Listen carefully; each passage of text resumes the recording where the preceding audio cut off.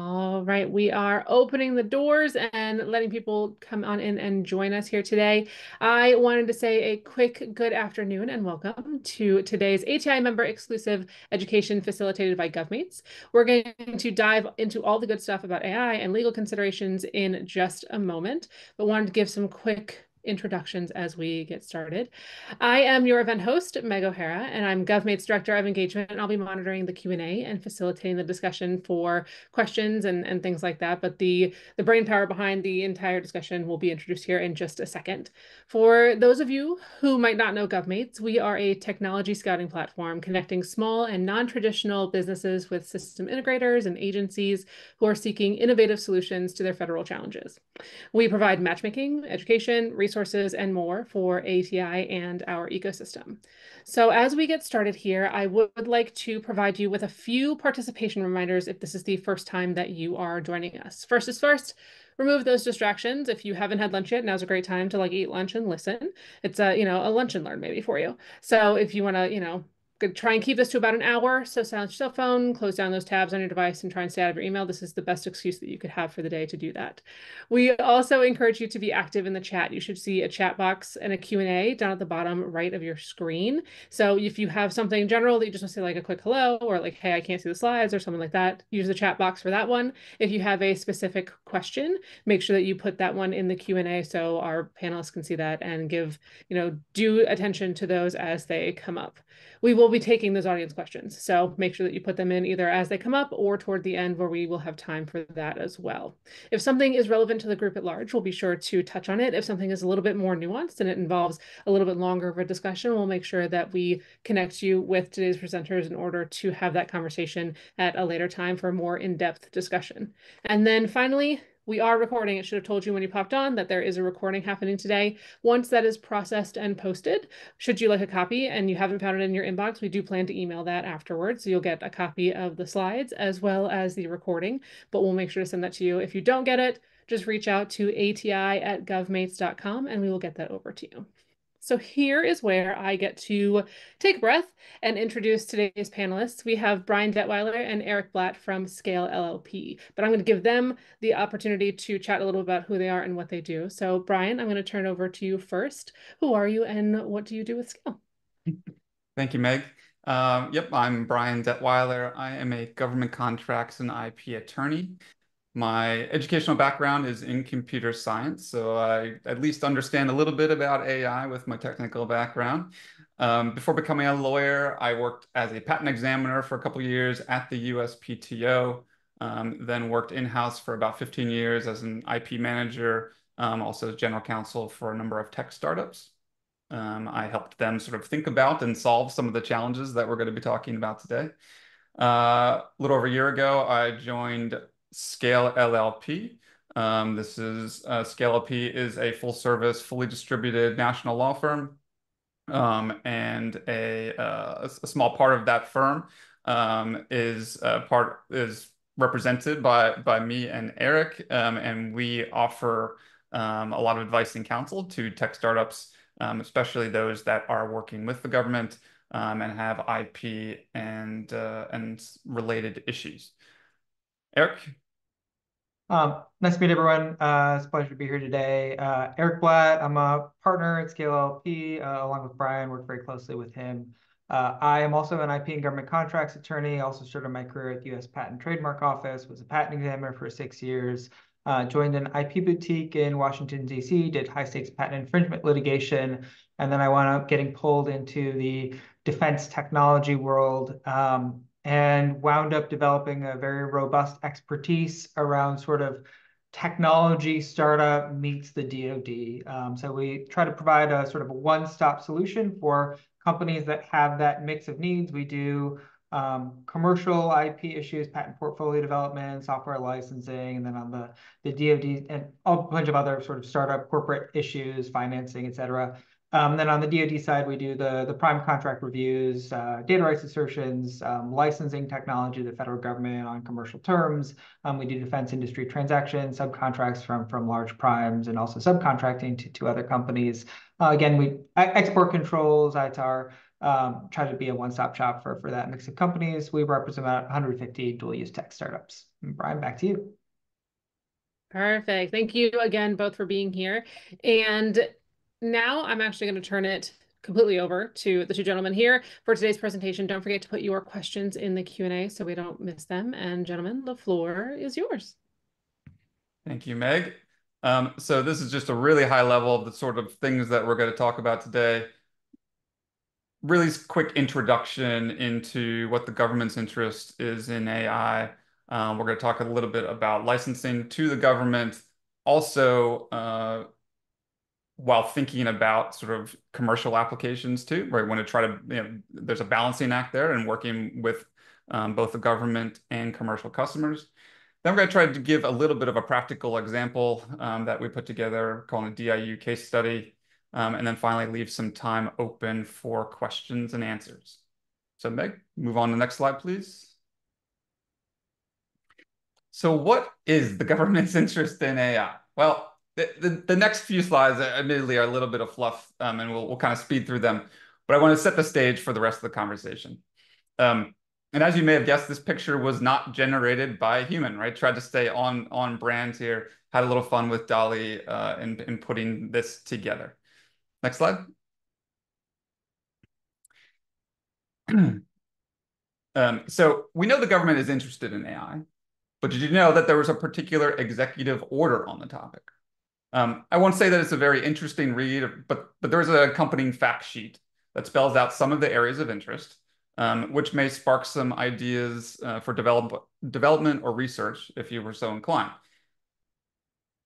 For example, um, one of the things mentioned is protecting Americans from AI-enabled fraud and deception, developing AI tools for to fixing vulnerabilities uh, in critical software, preserving uh, privacy preserving techniques in AI training algorithms, and, and also addressing algorithmic discrimination. These are all things that the that this executive order identified as potential target areas of interest um, for the government. Next slide, please. So what is the government going to do about it? Well, it has said that it wants to expand grants for AI research especially in areas like vital areas like healthcare and climate change. It also wants to help businesses, small businesses commercialize AI breakthroughs. And this is perhaps uh, the uh, most ambitious of all. It wants to uh, help agencies improve through rapid and uh, more rapid and efficient contracting. Uh, so these are all good news for us. Eric, what are some ways that the government can help us achieve these objectives, like helping small businesses commercialize their AI breakthroughs?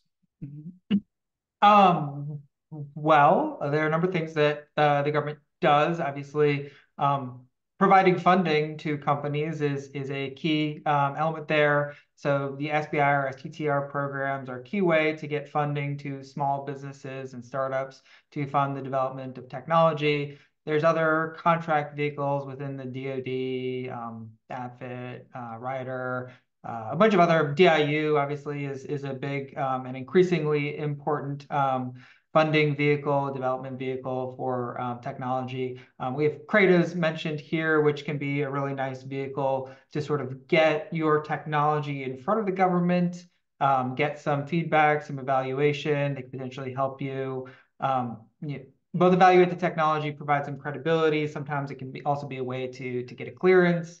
Um, so uh, some significant opportunities in, in CRADAs as well, although the government cannot pay you under those vehicles. So um, the, the, the, paid vehicles are always preferred by, by the clients. Next slide.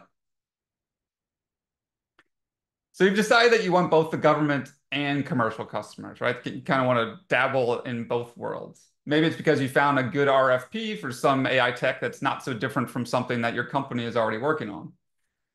So you see this opportunity for short-term and maybe even long-term revenue um, from Uncle Sam. So what are some of the things that you should be thinking about? That's what we're going to talk about next. One of the first areas um, that we like to think about is IP, right? So in addition to doing government contracting, Eric and I are both IP lawyers, and to an IP IP lawyer, everything looks like IP. Um, but one of the key pieces of wisdom that we want to share to you, uh, share with you today, is to think about IP early. Um, have a good understanding of what your intellectual property is, what rights you have and or want, uh, and what do you need to do to protect that IP before you start contracting with the government. So to that first point of understanding what your IP is, especially when we're thinking about uh, the world of AI, what exactly is it that's that's new and special about what you've developed? Is it just sort of icing on the cake? Um, by that, I just mean like, is it um, you've taken something that was traditionally done perhaps more uh, rigidly or routinely, and you've just you're using AI to improve it? Are you harnessing AI in some completely new way? think about are you using standard models right that are produced either you know open source or by some third party or are you actually creating new ones? And where does your where does your training data come from? Um, there's becoming a, a, big marketplace for ai training data. Perhaps the, the value that you bring is in the training data itself or how the, the training actually occurs um, we know that uh, from that executive order for example uh, they identified privacy preserving techniques in training, right? Perhaps that is something um, that is worth protecting. Uh, and so once you've identified your IP, you have to know the rules of the game that you're playing. Next slide, please. So unfortunately, there's not just one set of rules, right? We have two different sets of rules depending on whether we're talking about the commercial or the government markets. In the commercial game, one of your best, but not only forms of protection is going to be patents, um, which we'll talk about a little bit more in just a minute. In the government game, it's all about the tangled web of government data rights. Ideally, if you're playing both games well, you can capture kind of that sweet spot that's the intersection of these two circles in the slide here. Next slide, please. So let's talk about protecting your IP in the commercial market first, right? Now, please remember that this is just a very high level overview of IP protection. Um, and, and so for brevity, we may even be a bit imprecise with certain language. But the point is to get you thinking about these things and asking the right questions early on, uh, which is, again, one of our key nuggets of, of wisdom for the day. First, we have trade secrets. And this form of protection only works if you can actually keep something a secret. AI algorithms, to the extent that they're not patentable and they're embodied in source code, are often best protected by trade secret. Trade secret protection requires that you have solid data security practices. You want to have good HR policies, right? Because you don't want your employees, you know, running off with code and, and sharing it or being, uh, you know, lazy about leaving it on, on computers that, uh, that anyone can access. You also want to have good N NDA protections with your partners and suppliers and other third parties that you're working with. And the reason why this trade secret protection can be valuable is that the law specifically provides ways for you to recover damages in the event that someone does, in fact, misappropriate your trade secrets. But that law only works to your benefit if, in fact, you've actually done the things that we just talked about, um, protecting your, you're actually keeping it a secret. What about copyright? Well, copyright law protects things from being outright copied, right? This is your code, your programs, your files, but it doesn't actually protect the underlying ideas, which can often be expressed in, in an infinite number of ways, right? You can write the same program uh, to do the same thing in many different ways. Copyright law only protects the copying of the literal code, not the actual underlying ideas. And to the extent that you've compiled data from different sources, for example, the data you've collected for AI training purposes, there's going to be very limited protection from copyright law there because you didn't actually author the data yourself. It's just you've collected things together and that data set gets very, very limited protection from copyright law. Next slide, please. So I, first of all, I love this image. Um, I, I believe I asked DALL-E to give me a graphic representation of patenting AI technologies. Uh, and what I got was an android who appears to re be reviewing some ancient patent documents. Uh, you mean you mean Patoit? and it's using a magnifying glass for some reason. I guess it, it doesn't have a, a good uh, vision technology.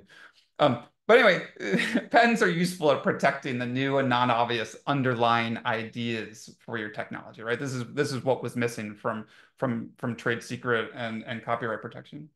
Um, as you probably know, patents prevent others from making, using, or selling your invention in the territory in which you got the patent. So a US patent, for example, pre prevents a competitor from developing and or selling your AI tech in the US, but it doesn't prevent them from doing the same overseas. You would actually have to get patents in the uh, jurisdictions, other jurisdictions in which you might want to uh, stop competitors from, from operating. Uh, a lot of software engineers in particular are skeptical about patents uh, because they, they don't think that they can get patents for their AI algorithms um, because they tend they, they think of them as just a rehashing of old ideas. The truth is that your competitors are getting patents in this area. We see them, you know, every day, um, and those patents have have real value. Um, Eric, do you want to talk a minute about some of the ways that patents are valuable uh, in the commercial? Yeah, yeah, absolutely. Um, so patents are an interesting item in the government contracting world. Um, I mean, the reason that most of our clients wind up pursuing patents uh, is basically strictly for um, pleasing investors and increasing the valuation of the company um, in the event of uh, you know sale of the company. Um, that tends to get uh, be what actually motivates people to invest the, the time and, and the, the resources that are required to, to obtain the patents. Um, I will say, though, that patents actually come up a pretty pretty often in terms of sort of business strategy discussions. We often, I often get calls with companies who say, hey, um, you know, I am interested, you know, I have this capability, may, maybe I have this contract, a couple contracts, I'm interested in this other opportunity, but I'm really worried that the government is going to award this contract to one of my competitors, or maybe I've got a sole source authority and I'm worried about this, you know, the government taking my information and recompeting the contract or something to that effect. Sometimes they, they have a specific competitor in mind, sometimes they don't. Um, and it often comes down to have we has the company filed so a lot of times what, what the companies are are specifically thinking about is SBIR phase three authority comes up a lot um, hey, I'm supposed to have sole source for this technology. Um, can I prevent the government from competing this openly? Um, turns out the SBIR sole source authority mandate, it's not always the strongest basis. Uh, people have litigated that issue many times. You tend to lose on that. Um, then we talk about what al alternatives there are. So we have the data that's controlled under government data rights. The government can't use that data potentially um, to recompete, but there's always the worry that you know, maybe the company, the competitor doesn't need your data to recompete because they have their own solution. And then you're looking at patents. Patents wind up being the the the basis to sort of build that competitive moat. Um, and a lot of times the government, you know, in the commercial world, if you have a patent on a technology, getting Apple not to not, you know, not to infringe that patent and not to compete against you, good luck. It's hard to do, but the government actually does care a decent amount about patents. The government sort of feels like it's issuing the patents and it ought, ought to respect them. Um, so I, I think patents actually really do have a, a meaningful and important place in terms of building your moat in the federal marketplace. But also applicable in the commercial marketplace. And yes, it oh, is. Yeah. You know, it can be difficult to enforce against the really big players, but we know that they're valuable in valuation. We know that when you are working with um, your your counterparts to you know on on solutions together, it can help you negotiate better terms for you. Um, investors you know, when, when they go to your, your data room, they like seeing that there's patents and patent strategy and IP strategy built out there that helps them uh, have some further confidence in, in what you're developing here, right? So again, as we're trying to find that sweet spot. Yeah, I'm uh, financing a patent litigation. It's unattractive to a startup or small business kind of until it isn't. Um, so if you have a patent on a technology and others, you know, you, you get the patent pretty early in the process. Um, and then you kind of develop your technology, you try to build out a business around it for a couple of years. Um, a lot of times, you know, maybe there's no infringement or the infringement is is light enough in terms of the the sales revenue that it's not really worth investing in, in the resources into an infringement claim. But if if there's a lot of dollars flowing through infringing technology and you've got big tech companies using your your capability, um, all of a sudden it really does make sense to to file these lawsuits. And a lot of times you can get investors to to bear that risk um, and so it, it, sort of it the, the patent infringement lawsuits are sort of unattractive until the the damages pool and the infringement is large enough, and then they become profitable. Yep. Um, well, that's part of the Venn diagram. Uh, we're going to talk about now sort of government data rights part, the other set of rules. Next slide. Eric, do you want to take this one? Yeah. So, what are government data rights? Um, when you submit a proposal for a federal contract, you have to fill out your data rights assertion. Sometimes the contracting officer will ask you to update it before you you um, the contract is signed. Um, people are familiar with seeing these these data rights assertions. A lot of people don't fully understand exactly what government data rights are. Uh, the simple definition is government data rights are a license that you grant to the government, um, and it tells the government what it can and cannot do with technology that you deliver. Um, importantly, it covers data. Uh, a lot of commercial first companies think of data as maybe something you scrape off the internet or something that goes in a spreadsheet, sometimes, or something that comes off a sensor. Um, sometimes that data people think of important. Sometimes people think, yeah, data maybe not that important. Turns out um, that's the wrong interpretation that the government defines data extremely broadly, and data is really, really important. Um, so data, the government defines it as recorded information, regardless of the format in which it's recorded. So your software is data, your reports are data, your technical diagrams are data, architecture, your reports, every, you know, the product specifications for, for your product, all that is data. And if you give it to the government, um, that's going to be what's governed by those government data rights. So if you care about, for example, whether your software can go out the door to your competitors, you need to care about government data rights.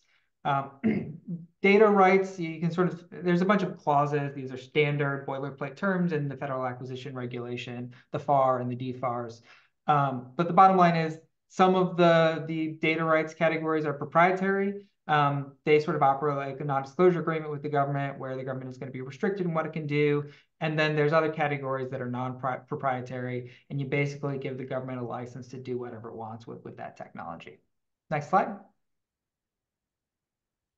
Uh, so the civilian agencies and the DoD use meaningfully uh, different data rights clauses. Uh, most of our clients are working with the DoD. Uh, if anyone has questions about the civilian agency clauses, always happy to chat, but we're going to mostly focus on the, the DoD issues today.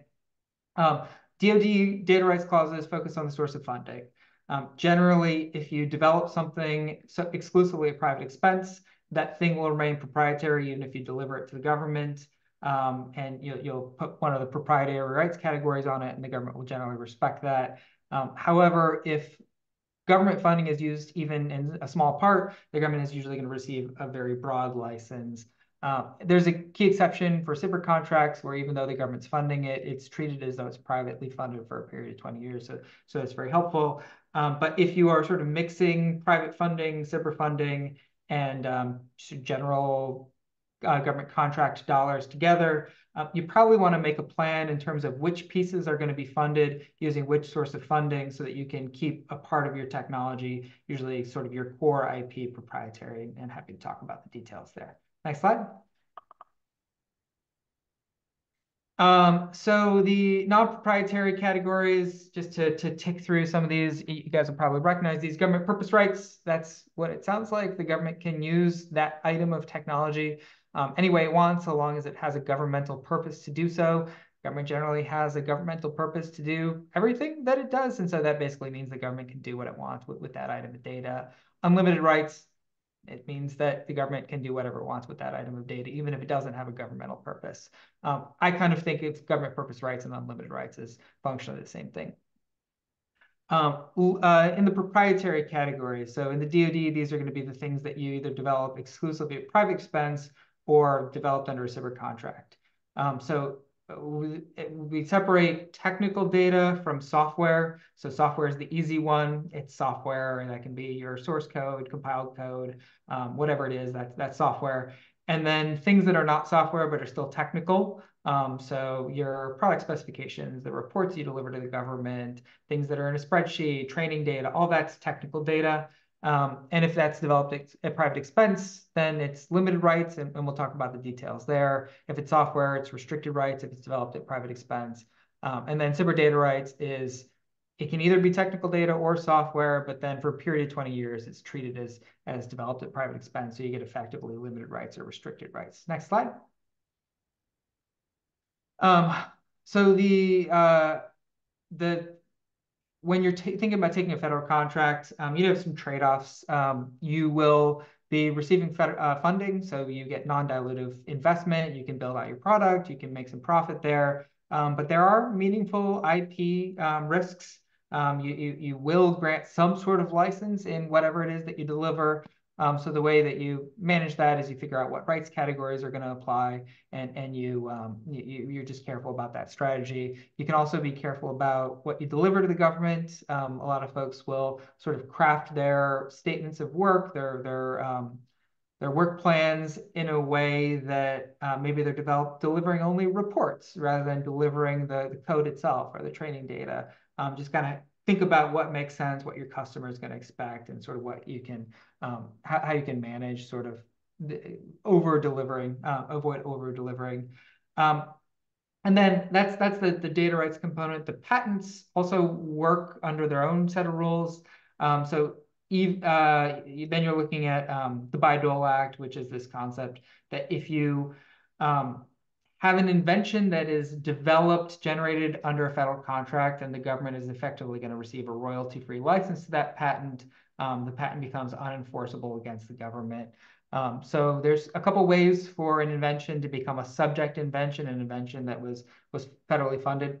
the first possibility is if you conceive of the invention in the performance of work under federal funding agreement, so the idea pops into your head while you're working under a contract, um, that's a subject invention. The government's going to receive a royalty-free uh, license. Second possibility is, and this this comes up actually uh, much more often for our clients, which is um, you come up with the invention prior to contract award. Um, generally, that's what the proposal is about. You have the invention in your head, you write your proposal. Hey, we want to validate this, build it out, whatever you want to do. Um, and then you use that federal contract, that funding, to build the first working prototype. You, you, you make the first actual reduction to practice of, of the invention or federal contract. That also creates a subject invention. The government receives royalty-free uh, license to, to that invention. Um, oftentimes the best way to avoid that first actual reduction to practice um, under government funding agreement, you can build sort of a rudimentary prototype, just sort of proof of concept that it works prior to contract award. That's your first actual reduction to practice. You file the patent application, um, and then maybe you do some further development and testing under contract, but you, have sort of avoided falling into that subject invention category, which is a, a better thing to do. If you can't avoid it, you should avoid it for the most part. Next slide.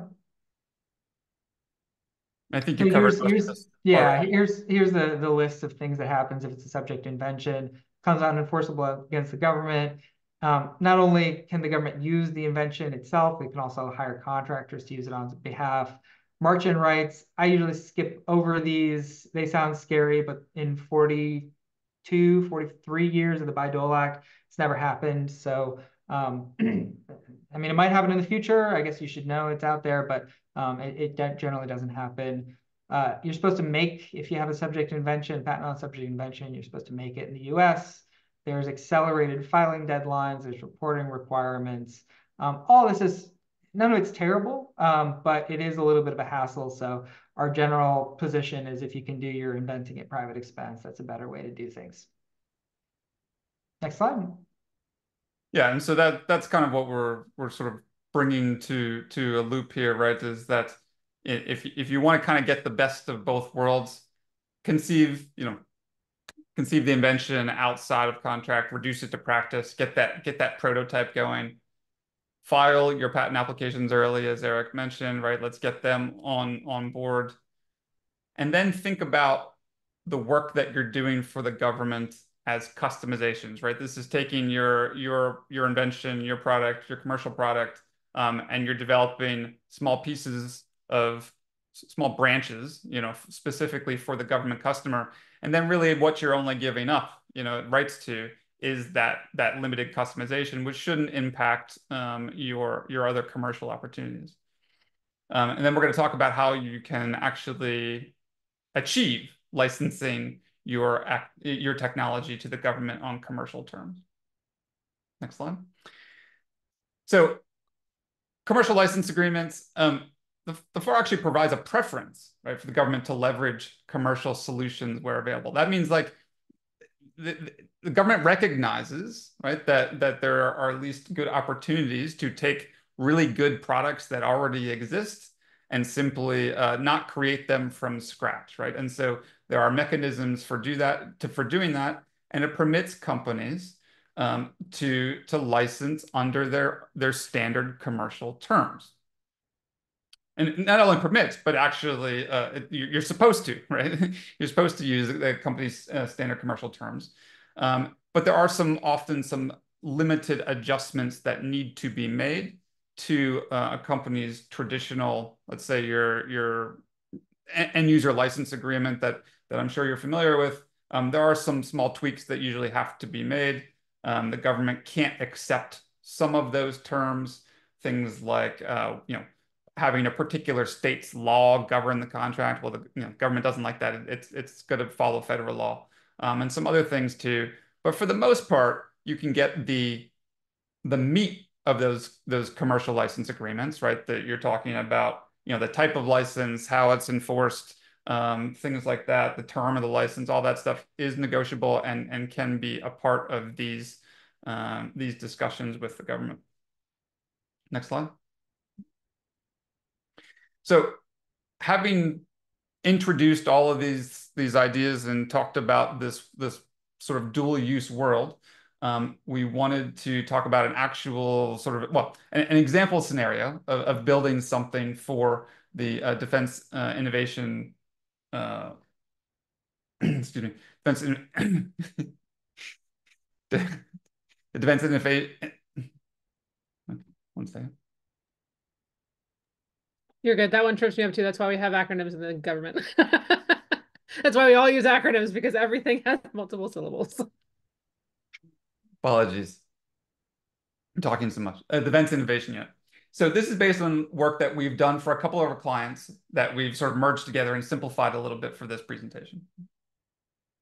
So in this example, the DIU wants a new AI enhanced technology. And the development will occur under an other transaction agreement, right, or an OTA. And for those of you who aren't familiar, OTAs are procurement methods for working uh, with non-traditional contractors, right, not the big primes, to develop cool new stuff that uh, with less red tape. There's more flexibility in how the deals are structured um, and are great for getting work done fast, right, at least by sort of government standards. In this example, the client already has an existing commercial product, and that product is built on a third-party AI framework but it requires customization to meet DIU-specific objectives.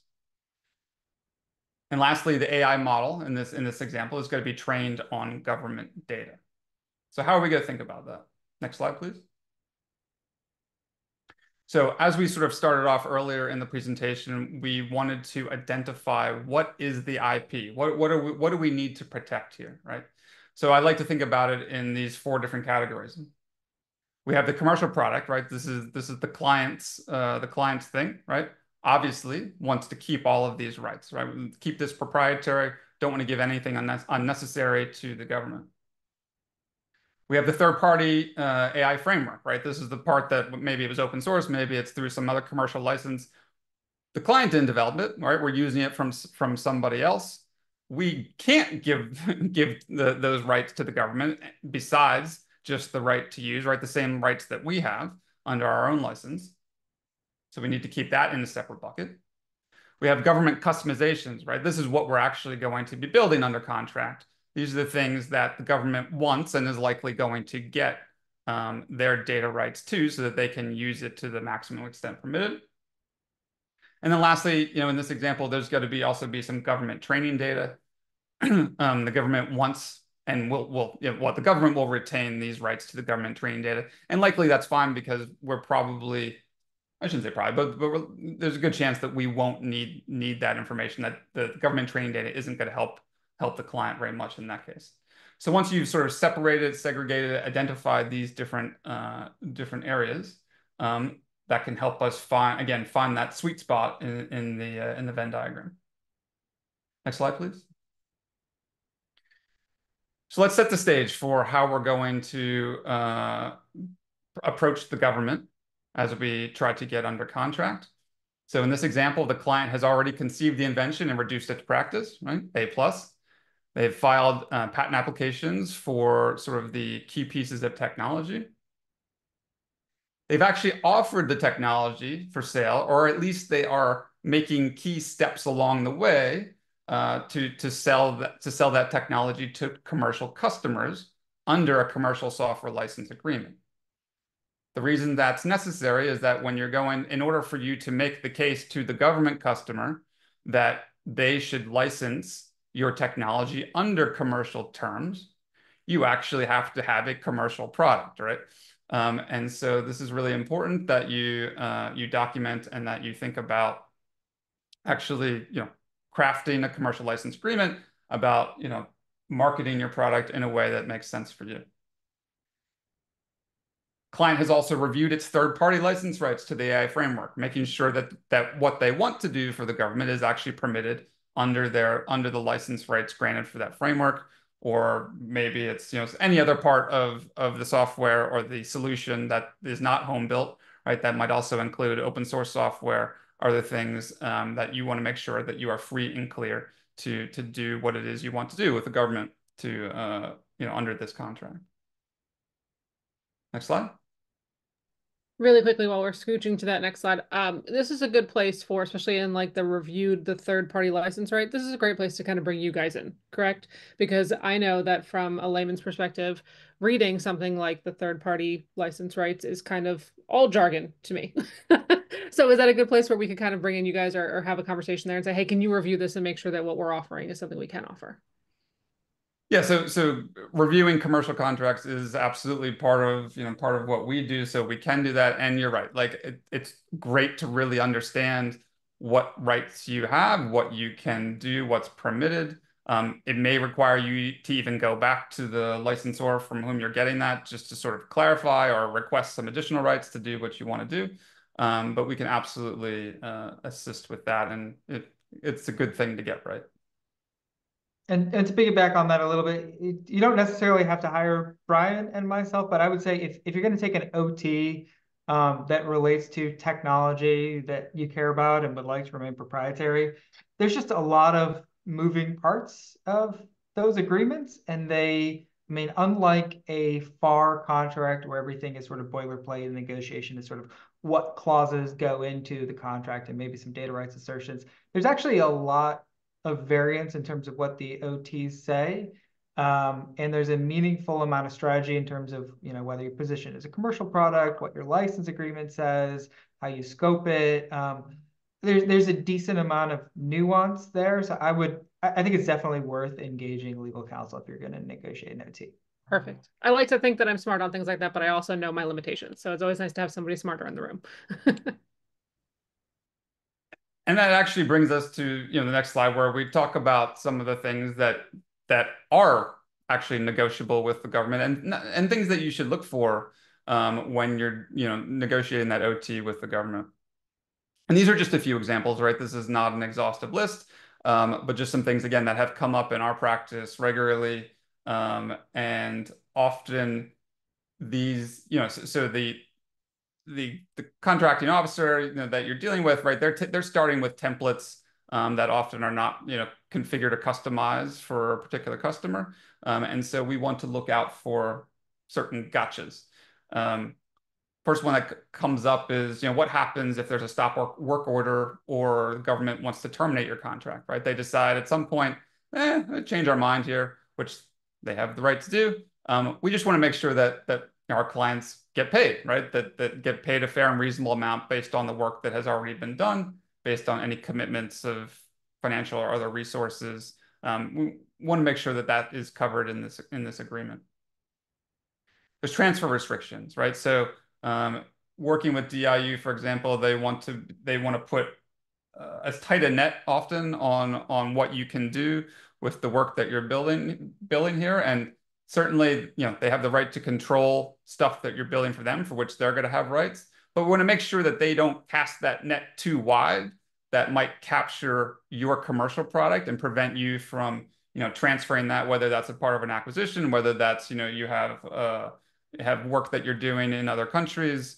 Um, you want to make sure that there are no limitations that can negatively impact what you do on the commercial side of things.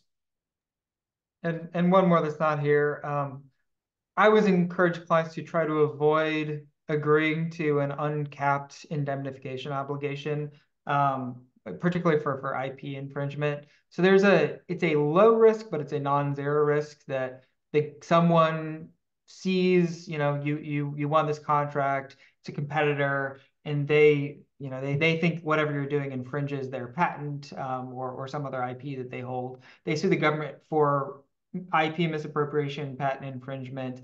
At, if you've agreed to an uncapped in, indemnification, the government will always be able to defend itself. It'll have the Department of Justice to defend it. You will not control the outcome of that settlement. You will not control the DOJ's tremendous inefficiencies.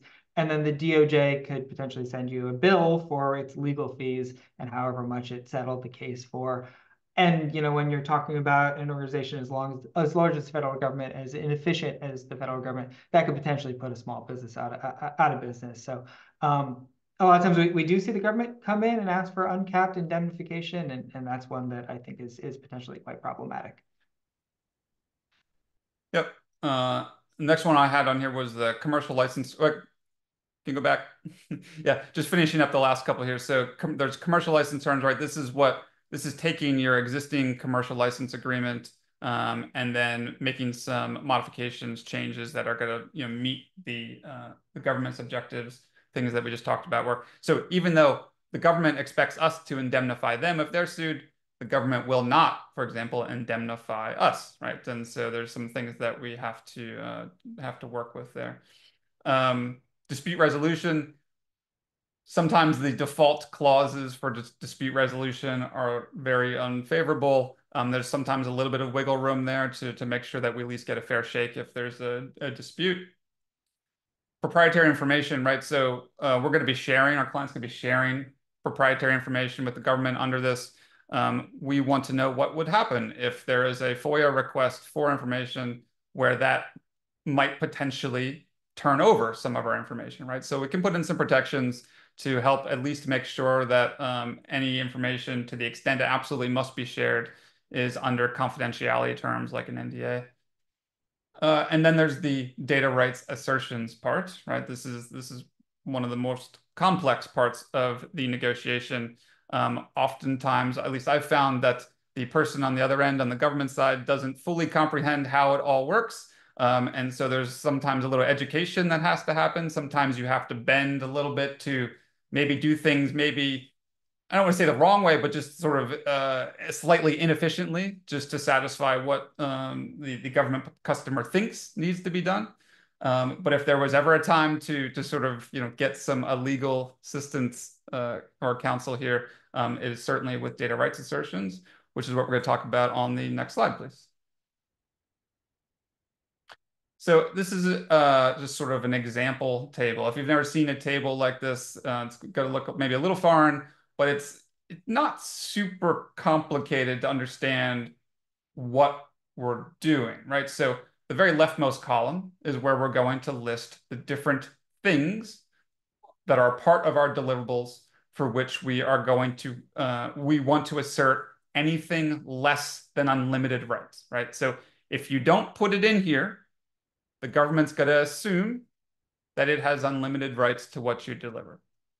Now, um, so so the first first column is where you're listing the different things, right? So in this case, we have sort of different categories. We have sort of a commercial product. Um, we have uh, maybe the third parties, you know, AI framework that we were using under a license. And then maybe we also have uh, something that was that we previously developed under a government contract, but not uh, with uh, uh, unlimited rights, right? This could be a SBIR contract for which there are actually SBIR data rights applies. So we want to make sure that we would call that out here as well. Um, the basis for assertion, right? That's where we give, we explain why we think we should be on, in that particular category, or why that thing that uh, in, in column one should not actually get unlimited rights. Um, if it was developed exclusively under private expense, right? That is a really good justification and one of the permitted justifications for allowing us to uh, claim restricted rights uh, or limited rights. Uh, and then the uh, the third category is where you specify the particular rights. Um, this is what Eric talked about a little bit ago with the different categories. Uh, and then finally is just sort of the name of the entity making that assertion. So if it's your stuff, um, it's you, right? It's you, your company. Um, if in the case where it's a third party's, you know, uh, information, then that party's name gets listed there. And this seems simple enough when you look at it this way, but there is actually, there, there, there are a lot of nuances and uh, complexities that happen. Um, for example, even just sort of separating a, uh, for example, a software product that into different categories like this when it may not have been engineered in a way that sort of permits that separation. Um, but there could have been parts that were developed under a prior government contract. Um, those are integrated. Maybe it, it, just starts to get a little bit dicey. Uh, and that brings us back to another reason, again, why we want to start thinking about these things early, because we can talk to the engineers, we can help them think about in the architecting of their solution ways that make sense so that this sort of division uh, is easier to do, right? So that we don't risk blending uh, things that the government might have more rights to with the stuff that we want uh, to to maintain commercial, right? Um, again, more more planning, uh, you know, it, it pays off in the end. I think that's kind of it for for me. I want to say about this slide. Uh, next slide, please. These are sort of you know walk away, take home tips um, based on what we've talked about so far, right? And just kind of touched on right? We want to file our patent applications, develop our prototypes, think about data rights, do all of that stuff early. Uh, we want to establish our standard operating procedures, you know, about our government-facing IP. This is understanding the different data rights terms as they're going to be applicable to funding opportunities. We want to scope our proposed deliverables and do that in a way that best protects our proprietary rights. We want to make those data rights assertions correctly, right? Um, something that's hard to scrape back if you do it incorrectly. And the last one, which I have with an exclamation point here because it is extremely, extremely important, and we haven't really touched on it yet, um, is make sure to mark your deliverables accordingly. If you don't mark something as you know being under a particular category or having certain proprietary rights, uh, it will be treated like something that has unlimited rights, right? And and that is that is obviously going to be very bad. So the the contract itself is typically going to specify legends, things that you should append to all of your documents, all your deliverables. Um, it is extremely important that you follow those rules, that you establish policies and procedures to make sure that your engineers are doing it, that someone is double checking it before it goes out to make sure everything's properly marked. Um, if there's only one thing you take away from this presentation, that is that's probably the one thing to to remember. Last slide. Open it up for Q&A. Exactly, opening up for questions. So I'm going to ask this question, knowing full well that the answer is probably no, but my my heart, heart of hope wants there to be an answer that's yes. Um, is there any like retroactive, hey, I made that, I should have patented it, but now I want to sort of thing? Or it's like once it's made and if you don't do it at that point, you're you're stuck. So we do have, um, so so the, the patent statute does specify certain deadlines, right? There's also, we call them patent bars that prevent you from getting patents for certain things that either you've publicly disclosed more than a year ago um, or, or offered for sale uh, more than a year ago. So there is sort of like, you kind of have a little bit of a one year grace period. Um, but ultimately right we, we you know if, if you're falling into the it, it's still a race to the patent office right? And right. so to the extent that you are falling behind there you're potentially going to fall behind you know uh, uh, in getting patents for in competitive areas. Okay. um, so there's there's some wiggle room. Okay. A little bit but not enough to make me comfortable. I understand. and then on top of that we kind of talked early on about some of the trade secrets right? Um, is there a world or does it happen where trade secrets sometimes get out and then we have to quickly patent them? Does that happen? And is it something we need to worry about? A weird so, yeah, so well, so I mean, that's that's an interesting question. I, I think that can certainly can happen, right? Is to to think about it that way. Um, typically, our analysis starts by thinking about whether something is best protected as one or the other, um, because oftentimes the things that fall in the trade secret bucket are things that can be difficult to patent. Right. Um, you know, maybe these are if you think about the classic formula for Coca-Cola sort of thing, right? It's not necessarily a patentable thing, but we want to we want to keep that in the trade secret bucket. If anything can be patented, you know, certainly it's our our recommendation to try to patent that if it if it's valuable enough to you. Um, in the event that there was sort of a a breach or whatnot, um, yeah, I mean, certainly that would be one of the questions we would ask is, all right, well, now it's out there in the world. There's no way to sort of pull it back in. Um, is there is there an opportunity to patent it? Yeah, we could certainly have that conversation. We just hope that that's never an option. we hope that's not a conversation that we're having. Perfect. Well, I want to say a very big thank you to both Brian and Eric and, you know, the Scale LLP team, as well as everybody in the audience who joined us today. And if you're watching us on the replay, um, you can connect with all of us on LinkedIn. Both of the gentlemen's um, information is right there as well if you want to reach out uh, after the event. As a note, we are quickly approaching, as of today, we are quickly approaching AUSA matchmaking, which is on October 15th in the DC area. So if anybody's headed to AUSA and wants to join us for matchmaking as part of the event, uh, all you have to do is reach out to me and let me know, and we'll get you set up for that. If you have additional questions post webinar that uh, didn't get answered or something you think about as you're kind of watching a replay, all you have to do is let me know and I will be sure to connect you with both Eric and Brian, or at least point you in the right direction to get the answer uh, that you need from those guys. But we hope that you all have a fantastic rest of the week, and we look forward to seeing you either online again or in person very soon. Brian, Eric, anything else you wanted to add as uh, as final notes before we release everyone to the rest of their day? I think that's it for me. Eric? Pleasure to be here. Thank, thanks, everyone. Awesome. Thank you both. And uh, we'll see everybody very soon. Bye bye.